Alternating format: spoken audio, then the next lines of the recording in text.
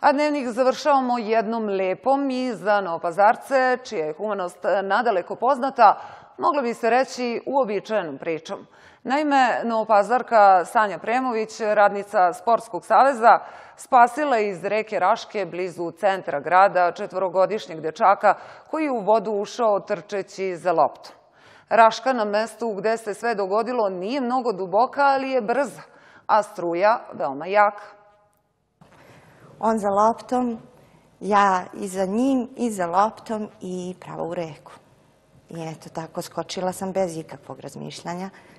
To je ono što sam htjela te pitam, je u, tom trenutku bilo vremena zapravo da, da, da razmisliš i o svom životu i o svemu što može da se desi? Ne, možda u jednoj sekundi mi je samo proletelo kroz glavu da li ima još nekog tu ko bi mogao da mi odradimo to i spasimo dete na još lakši način. Međutim, to je u sekundi levo, desno, ali nije bilo nikog. Tako da nisam razmišljala ni o čemu. Jedan od razloga tvojeg gostovanja ovog jutra jeste naravno i to da se dečaku pomogne i da se apeluje da, da ljudi priteknu pomoć jer on sa e, više svojih braća i sestara i majkom živi u teškim uslovima. Da, ima tri brata, u stvari ima dva brata i dve sestre. On je najmlađi, a inače i zdravstveno nije dobro. Ima jedan oblik blaži, možda i nije blaži oblik epilepsije, ali ipak bih ja to ostavila, pošto smo već u kontaktu sa doktorima, da se sve lepo proveri, da se tačno dijagnoza uspostavi od čega dete boluje.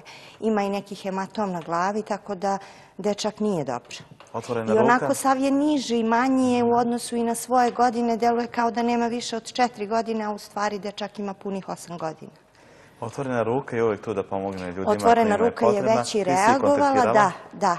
Na odbojkaškoj utakmici gdje smo mu dodelili loptu bila je otvorena ruka i ja mislim da će oni danas već da preduzmu neke stvari i da ga posete kući, da odnesu namirnice i da vide uopšte šta je toj porodici potrebno da bi se pomoglo što više i bolje. I vas dvoje se družite, povela si ga na jednu važnu utakmicu na poziv ljudi e, koji su organizovali tu utakmicu ovdje sad za vikend u Novom pazaru.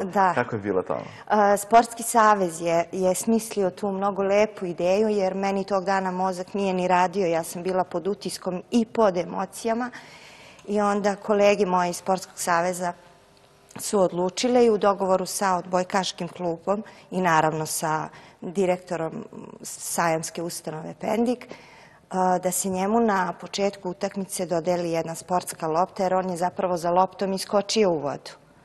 I ta lopta za kojom je on skočio je bila pocepana i nikakva